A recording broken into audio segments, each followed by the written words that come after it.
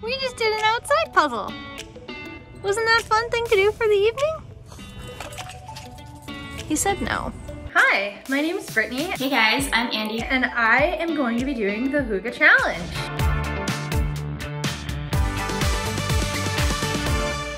I love Hygge. I really believe in the concept. I actually didn't know much before this opportunity, but I'm really excited to start this experience. I'm going to be talking to a Hygge expert, and she's going to be personalizing Hygge activities and setting me up for Hygge success. The word Hygge does not translate directly in English. And basically what it means is kind of a, a coziness and a contentment in the moment, enjoying the moment, being grateful for that moment, and a celebration of the small things. Hi, Stephanie. Hi, Andy. Hi, Brittany. How are you today? I've been waiting for this moment. Awesome. So tell me what you know about Hygge. I became obsessed with it a few years ago in just the sense of it sounds really cozy and comfortable and that's the life I'm trying to live. The nice thing about Hygge, it can create kind of a system for sanity and centeredness and calmness. Now, what kinds of things are you doing right now to kind of make yourself feel better? Sometimes I'll like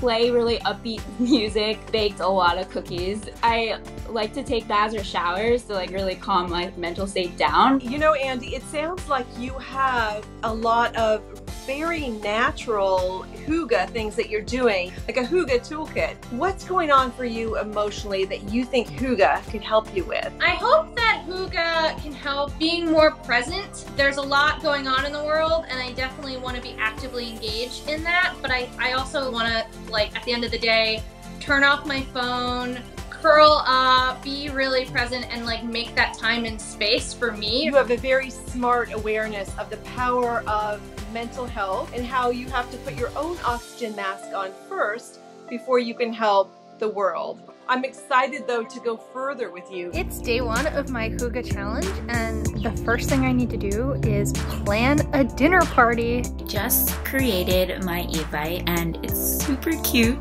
I'm really excited to send it off to my friends and see who RSVPs. First day is pretty light and easy, but we'll see how the rest of the week goes. I feel very overwhelmed and stressed out. Putting an Evite together isn't stressful, but maybe making the food will be. But hopefully it's fun. It's it's supposed to be fun. It's really a toss-up. This could be really fun or this could be really stressful. I am feeling a little bit down, but I get to walk outside today and it is gorgeous out. So I'm really excited and I'm sure that will put a smile on my face. Part of the challenge was to find five beautiful things take a photo of them. I live in a residential neighborhood, so I was really like, what am I gonna see? I'm not on a height where everything's beautiful, just sort of houses. But I started noticing things that I walk by all the time, like plants or flowers, just even tiny little small buds that I wouldn't have noticed otherwise. So it was actually a really kind of nice, calming exercise. I'm already in a better mood and it's not even 10 a.m. yet. I usually listen to music on walks so without listening to music, that was a challenge. I get distracted easily. I think having music to me is more of like putting me in the moment and zen out. I am starting my new bedtime routine. About 30 minutes before, I did a 10 minute sleep meditation meditation station. And that was really nice and relaxing. I left my phone out of the bedroom for the night and it was mostly fine. I did kind of wake up and panic and miss it.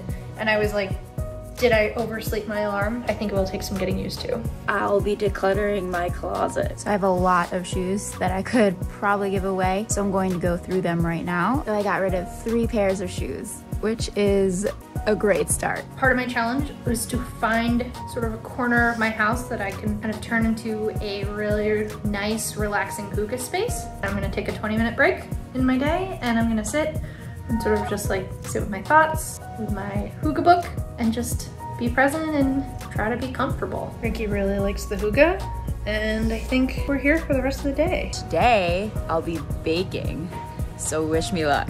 I challenged myself to bake something without a recipe, but just things that I had, and it failed miserably. Even my boyfriend was like, that's disgusting. But then I ended up reviving that for myself, and I baked really good blueberry muffins with like a cinnamon crumble on top. It was very, very good. So I have my coffee and I have my note cards.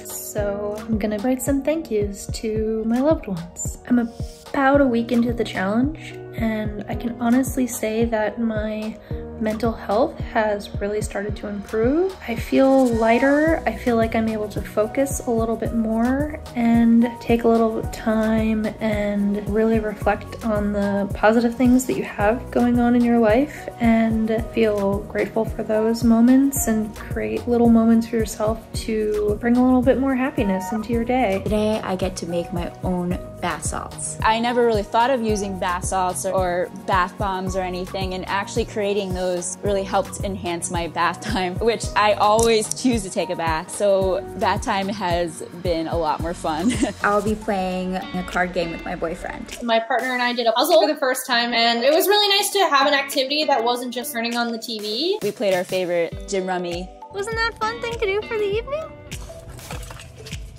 He said no but I had a good time. I've been taking a lot more moments for myself and I've been working on having about 10 minutes a day to meditate. Sometimes it's at night, before bed, Yesterday I did a 10 minute stretch, which was really great. It really opened up my hips. And today I'm gonna do a little like 10 minute gratitude meditation. I'll be making two playlists, one that is upbeat and exciting, and the other one that is mellow and for meditation. I love country music to Broadway to K-pop.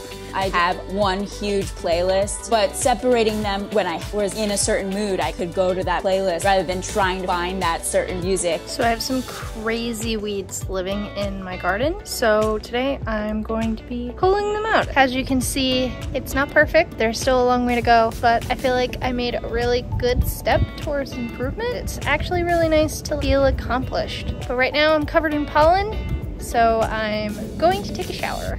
I'll be journaling for 30 minutes about anything, free writing. I never really journaled before. Trying to write down random stuff that comes to my mind is a really great way to vent in a way that no one hears it except for the paper. I made a donation to the Marsha P. Johnson Institution in honor of Black Lives Matter and Pride Month. And I am taking about an hour to call and write letters to politicians in response to what's going on in the world to let them know how I feel. It's really important to be actively engaged. Hygge is about self-care, but it's also about other care. I'll be videoing with my two best friends. I'm really excited. I had my dinner party and it didn't go exactly as planned. One of my friends didn't cook till after our dinner party and another friend actually cooked before the dinner party, so I was the only one cooking. And I had a hard time making things and chatting simultaneously, so I made a few mistakes along the way with my dinner, but it still turned out pretty good. A few of my other friends were not around, but I got two to approve.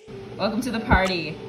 They are friends of mine that don't usually interact with each other, but they've always wanted to meet each other, so this is a really cool way to bring everyone together. It definitely alleviated any anxiety or tension I had, so it was really nice to not only talk to my friends and catch up, but do an activity. Highly recommend.